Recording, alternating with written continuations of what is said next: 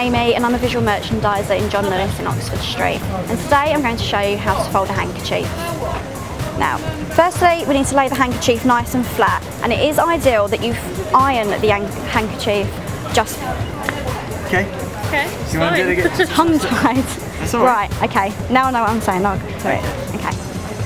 Hi, I'm Amy and I'm a visual merchandiser here in John Lewis, Oxford Street and today I'm going to show you how to fold a handkerchief. Now what we need to do is make sure the handkerchief is laid out nice and flat and ideally we need to have the handkerchief ironed before use. This way we get a nice crisp edge when folding. So what we're going to do is just bring each edge up to the top, making sure all the points line up.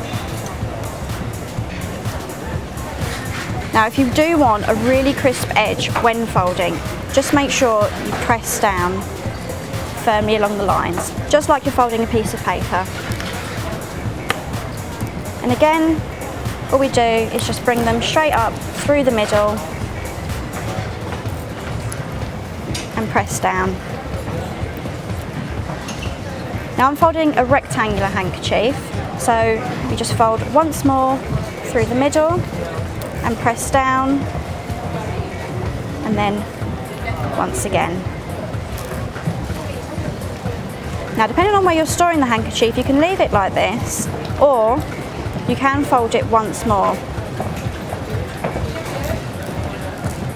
You can also fold handkerchiefs in a triangular way or if you are travelling and short space you can roll them to store as well.